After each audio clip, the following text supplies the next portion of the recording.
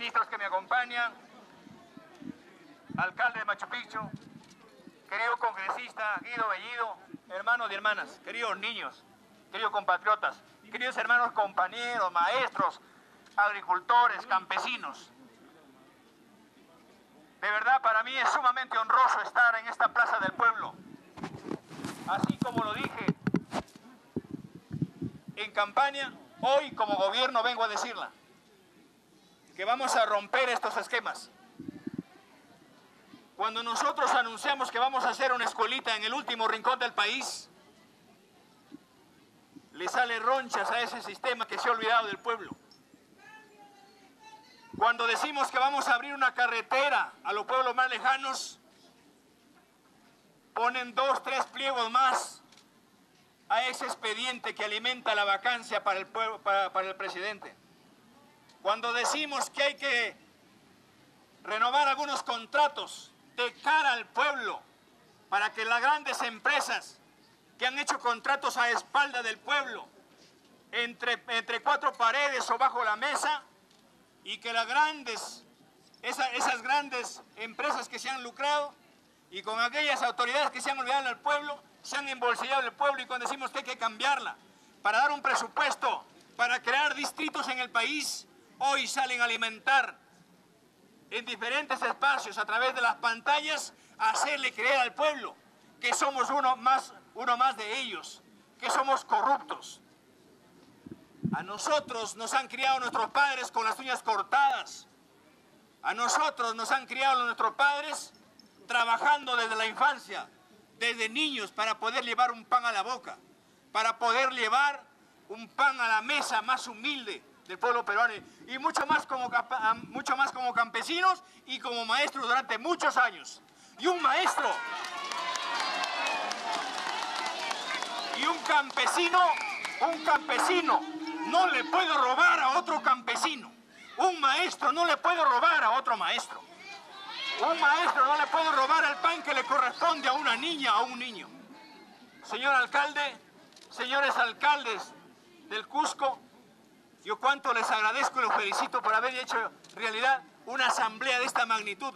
Convocar a las autoridades en este pueblo, en este pueblo campechano, luchador, trabajador, emprendedor, donde vengan, como este pueblo de Calca, diferentes autoridades, para que conozcan al hombre que sí trabajamos.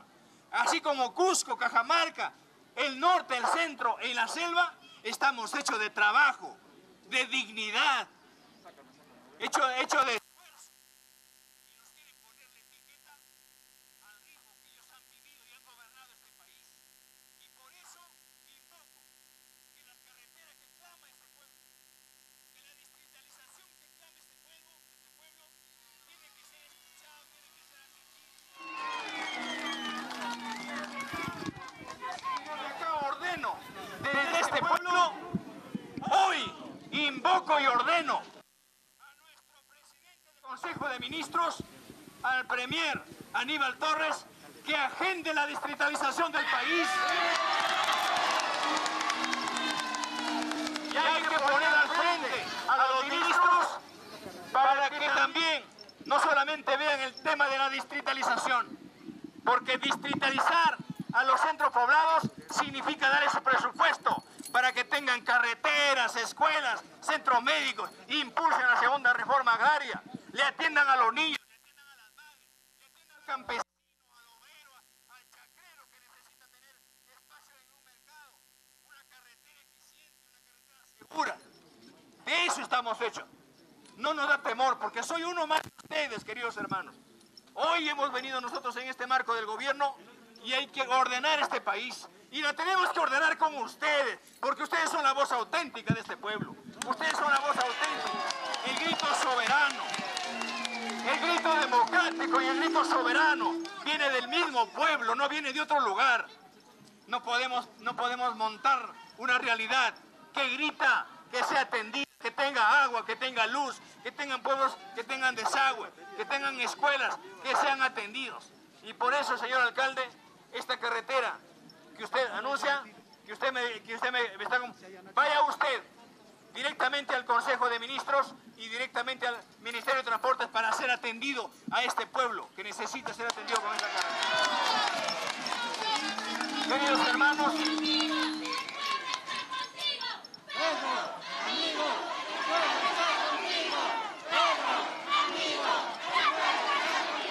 queridos compatriotas,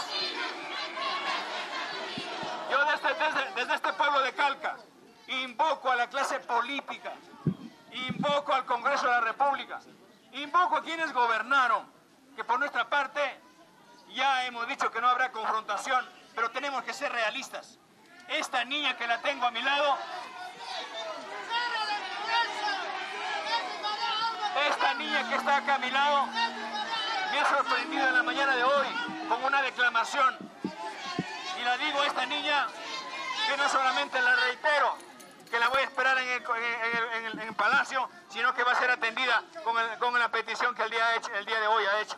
Igual, queridos compañeros, miren cómo están las escuelas, cómo están los pueblos olvidados, sin carretera. Ese es el pueblo que hemos recibido después de 200 años de olvido. Y hoy la vamos a cambiar. 111 mil millones de soles es la deuda del gobierno para tener que solucionar los grandes problemas de infraestructura. Se le debe al campesino, al ama de casa, se le debe a los niños, se le debe al pueblo, al agricultor. Y hoy tenemos que cambiar esta realidad. Y cuando queremos cambiarla y cuando ven que vamos a hacer la cosa, no hay que hacerla y entender que también es un corrupto.